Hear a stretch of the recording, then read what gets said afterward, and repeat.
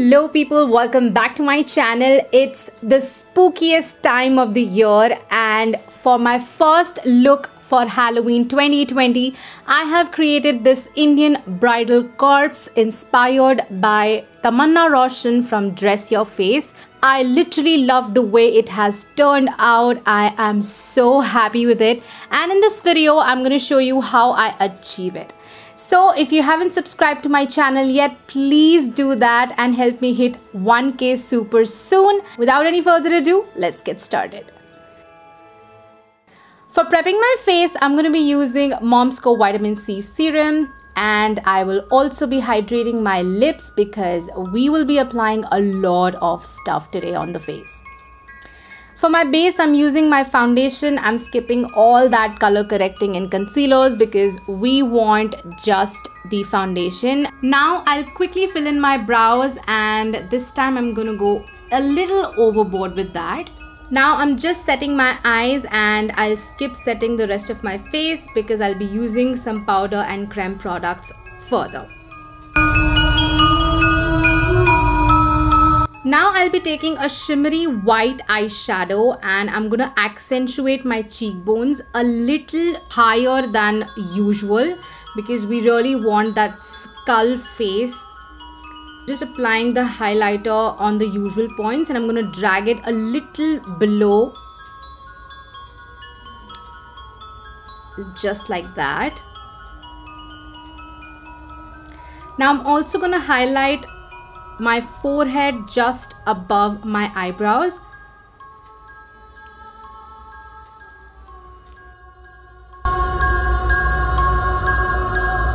And now I'm normally highlighting my nose and also my chin.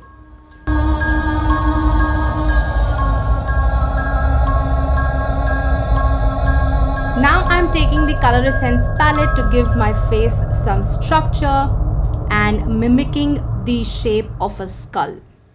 Now the highlight and contour will be a little too much than the usual makeup because obviously it's Halloween.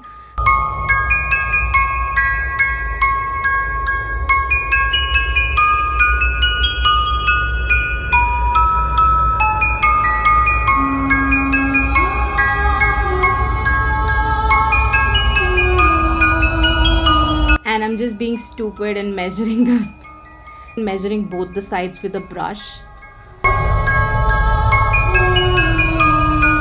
And I think it looks perfect. Now I'm just gonna broaden that line and I'm gonna blend the contour inwards.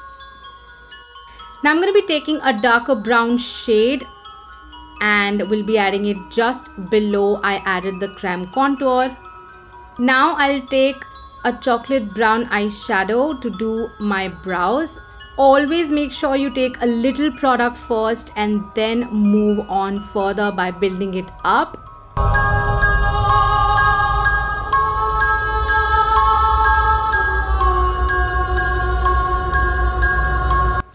Now for my eyes, I'm going to place the same brown color on the crease and I'll join it with the brows.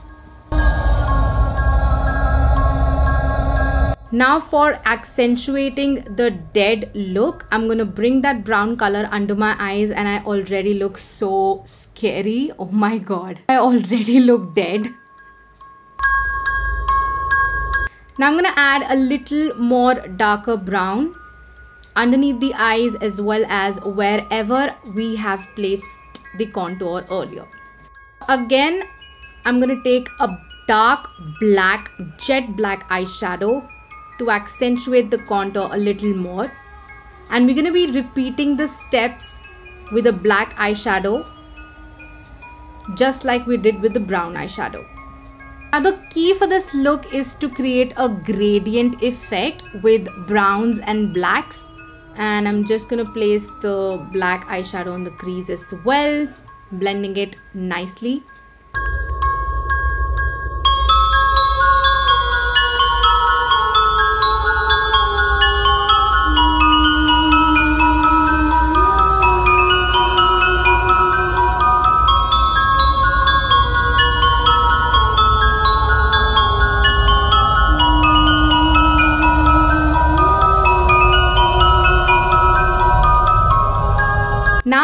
Cut the crease for the eyes and extended a little below towards the nose.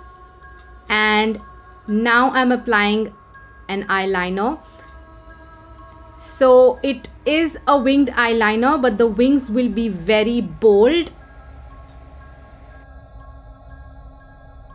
And I'm just mimicking the sort of eyeliner she wore.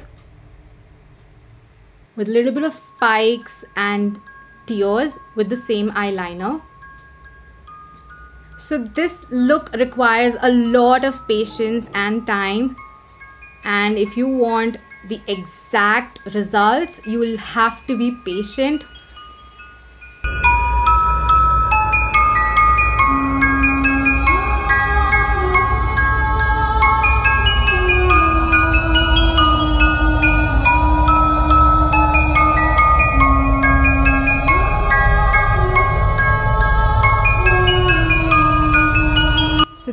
what my right eye looks like right now and I'm gonna mimic the same spikes on the other eye.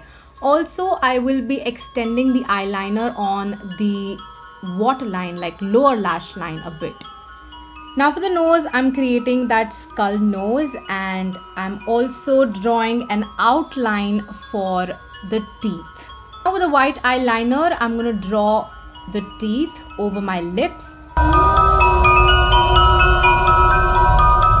Now I'm adding some glitter because it's a bride. I'll add the glitter just above the contour and a little bit on the teeth and brow bone. And now it's time to wear the contacts and eyelashes which I cannot wear on camera. I will wear them off camera and be right back. Now I'm adding a red bindi just in between the eyebrows and some rhinestones over the eyebrows like hers and with the jewelry and my outfit this is the final look you guys. Oh my god. It was so hard for me to get these lenses but i finally got these and i was so happy because these lenses have literally added that you know x factor to the look you can also wear the nath if you wish but if you do not wish you can skip it and this would be a perfect bomb look for Halloween if you celebrate it you can definitely wear it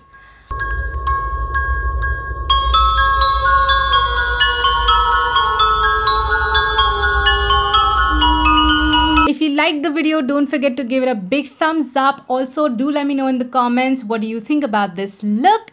Follow me on Instagram for more deets, subscribe to my channel, and I will see you in my next one. Bye.